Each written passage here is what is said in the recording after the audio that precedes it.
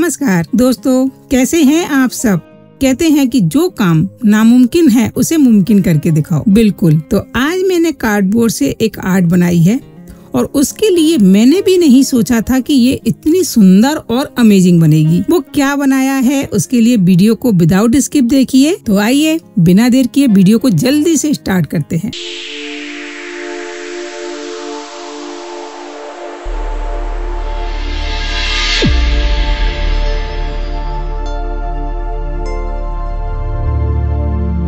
और यहाँ मैंने कार्डबोर्ड के दो से तीन पीस को स्टिक किया है। आप भी अपने कार्डबोर्ड की थिकनेस के अनुसार दो पीस या तीन पीस को ज्वाइन कर सकते हैं। और यहाँ मैंने कागज़ के ऊपर एक लीफ बनाई है। इस तरह की लीफ ड्रॉ करने के बाद मैंने उसके ऊपर एक जिलेटिन सीट रख दी है।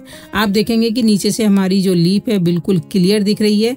मुझे दो लीफ चाहिए जो कि मेरे पास में नहीं है और मार्केट मेरे यहाँ से बहुत दूर है तो मैंने सोचा क्यों ना घर पे ही बनाई जाए। तो ड्रॉ करी हुई लीफ के ऊपर जिलेटिन सीट रखने के बाद हमारी जो लीप बिल्कुल क्लियर दिख रही है। तो यहाँ मैं ग्लू गन की सहायता से इस लीप को बना रही हूँ। लीप बन गई है तो अब इसे निकाल कर देख लेते हैं। अगर थोड़ा सा ऑयल का हाथ लगा लेती तो शायद ये लीप और जल्दी निकल आती। तो जो लीप बन गई है, उसके ऊपर मैंने गोल्डन कलर कर दिया है। ये गोल्डन एक्रिलिक कलर है तो बहुत छोटी छोटी बोतल में मार्केट में मिल जाता है। और अब मैंने लिया है मोल्डेड क्ले मोल्डेड क्ले को कैसे मिक्स करना है, कितनी क्वांटिटी लेनी है? फ्रेंड्स, इसका एक पूरा वीडियो है, जो बिगनर्स वाला वीडियो है, उसे आप देख सकते हैं और मोल्डेड क्ले को तैयार कर सकते हैं। और थिक डोरी बनाने के बाद ये देखिए, इस टूल से मैं इसके अंदर डिज़ाइन बना रही हूँ। जब मैंने ये डिज़ाइन पूरा कर लिया, पूरे डोरी पे बना लिया तो आप देख सकते हैं, ये एक फ्रिल की तरह दिख रहा है। चलिए हम अपने सर्कल पर इसको लगा लेते हैं। सर्कल के चारों तरफ़ ग्लू लगाकर अब इस डोरी को लगाती जाऊँगी। और ये हमारा व्हाइट कलर हो गया। पर मुझे थोड़ा सा व्हाइट कलर के ऊपर स्पार्कल व्हाइट भी देना है। थोड़ा सा दे दिया है, नहीं भी देंगे तो चलेगा। इस सर्कल के अंदर पेंसिल से मैंने थोड़ा निशान लगा लिया है, क्योंकि दो पार्ट मुझे इसके अंदर बांटने हैं। एक तरफ़ मैंने व्हाइट कलर रखा है और एक तरफ़ मैंने रेड कलर किया है। तो रेड कलर भी अच्छे से करना है। आप चाहें तो रेड कलर करने के बाद रेड कलर के ऊपर भी स्पार्कल रेड भी कर सकते हैं, जिससे वो थोड़ा शाइनिंग में दिखेगा। और कलर करने के बाद फ्रेंड्स जो हमारी फ्रिल है, उसके अंदर भी मैंने अंदर की साइड से गोल्डन कलर कर दिया है। तो गोल्डन कलर अंदर से करना बहुत ज़रूरी है। अंदर से गोल्डन गोल्डन कलर करने के बाद अब हमारी जो फ्रेल है वो बहुत अच्छी दिख रही है। तो कलर पार्ट कंप्लीट हो जाने के बाद अब मैंने लगाया गोल्डन डायमंड मिरर इस पूरे सर्कल्स पर गोल्डन डायमंड मिरर की मैंने एक लेयर दी है जो की बहुत अच्छी लग रही है।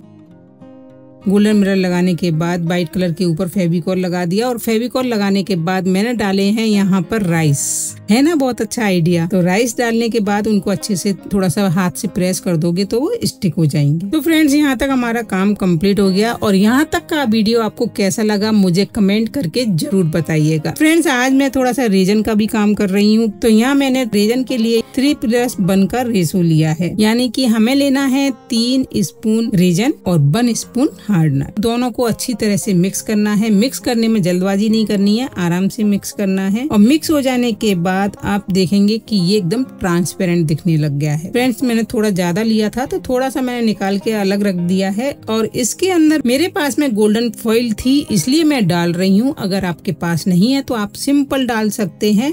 और इस रेजन को अब मैं सबसे पहले राइस के ऊपर रेजन डाल रही हूँ। तो थोड़ा सा गोल्डन कलर भी आ गया उसके अंदर। और ये रेजन के ऊपर राइस को अच्छे से फैलाना है, इसके लिए आप वुडन स्टिक ले सकते हैं या फिर टूथपिक भी ले सकते हैं। चारों तरफ़ अच्छे से फैलाने के बाद तो मुझे एकदम से याद आया ड्राई फ्लावर भी रखे हैं तो मैंने यहाँ पे दो चार पेटल्स यहाँ पे गुलाब की डाल ली हैं। आप चाहे मुझे पहले याद आ जाता तो मैं शायद इसको रेजन के अंदर ही डाल लेती। अच्छा रहता, उसमें ही मिक्स होकर डल जाता। और इसको डालने के बाद अब मैंने रेड कलर के ऊपर भी अपना रेजन डाल दिया है। उसको भी फैला रही हूँ, क्योंकि वहाँ मुझे प्लेन डालना है तो वहाँ मैंने प्लेन डाल दिया। तो फ्रेंड्स ये हमारी रेजन की थाली तैयार हो गई। और अभी मैंने जब ये रेजन डाल दिया, दोनों रेजन डल गए। और उसके बाद, एक दो घंटे रखने के बाद, मुझे याद आया कि हमने जो पेटल्स बनाई थी, वो तो मैं लगाना ही भूल गई। फिर जब इसको ड्राई होने दिया, फिर जब ये ड्राई हो गया दो दिन बाद तब मैं अब दोबारा से इसके अंदर वो पेटल्स लगा रही हूँ और पेटल्स लगाने के साथ ही थोड़ा सा मैंने दो फ्लावर भी बना दिए हैं गोल्डन कलर के मिरर से और अब मुझे एक बार फिर से रेजन डालना पड़ रहा है।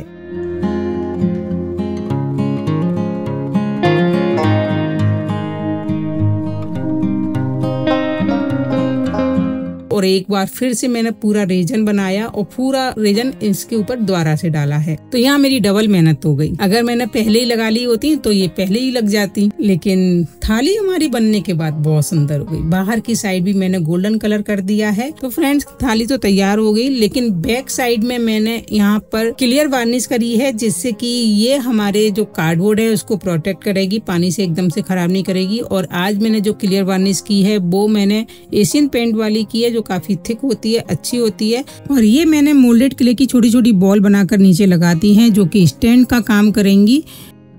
और ये देखिए हमारी कार्डबोर्ड की थाली बनी है, पूरी वाटर प्रूफ बनी है। आप इसके अंदर केवल थाली की तरह ही यूज़ नहीं कर सकते हैं, बल्कि इसको और भी तरह से यूज़ कर सकते हैं। आप ट्रे की तरह यूज़ कर सकते हैं, कोई भी पॉट भी रख सकते हैं, या इसे आप डाइनिंग टेबल पर रख करके भी यूज़ कर सकते हैं। चलिए अब तो एक छोटा सा दीपक भी बना लेते हैं। दीपक बनाने के लिए मैंने कुछ नहीं किया है, यहाँ पर इन दियो को लिया है और एक दिए के ऊपर मैंने उसी तरह की फ्रिल लगाई है, जैसे कि मैंने इस थाली के अंदर लगाई है, क्योंकि थोड़ा सा मैचिंग करते हुए दीपक बनाना है। साथ ही कलर भी कर लिए अपने मनपसंद।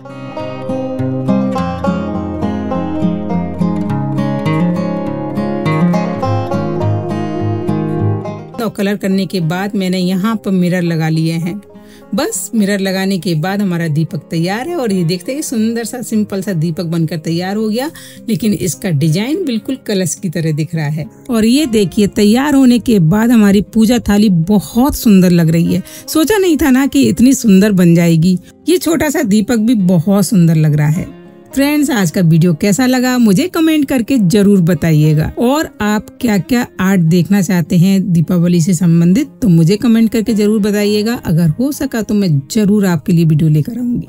चलिए, मिलते हैं एक नई आर्ट के साथ, एक नई वीडियो के साथ। Bye bye